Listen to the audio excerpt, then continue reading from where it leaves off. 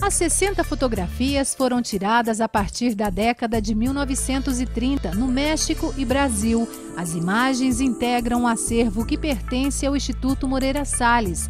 As fotos chamam a atenção pela originalidade. Em preto e branco, acho que a foto fica mais realista, né? E, e não é fácil tirar uma foto para ficar bonita em preto e branco, porque a cor já enfeita.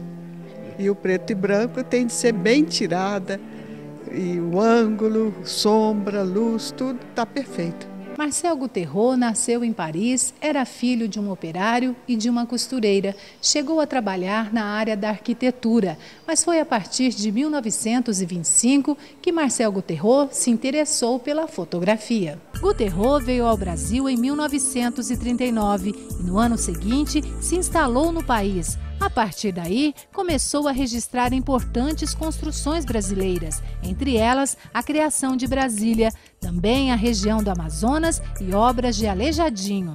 O Guterro passou um período no México, sofreu bastante influência e as fotos mostram muito o dia a dia do povo mexicano e a sua parte cultural também.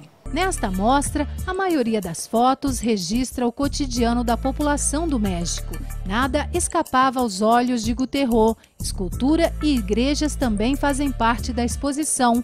Por onde ele passava, encontrava um ângulo diferente para marcar a visita. O realismo impressiona. Mulheres e crianças eram os principais personagens. Muito interessante, as fotos são lindas.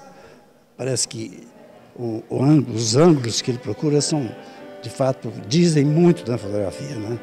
Tem fotografias que não, não nos dizem muita coisa, mas essa diz de fato. O fotógrafo se destacou no meio cultural brasileiro por ser simples na escolha do que fotografar. E quem quiser poderá aprofundar ainda mais na história do artista estrangeiro. As fotos são em preto e branco, merecem uma visita ao Instituto para ver, vale a pena.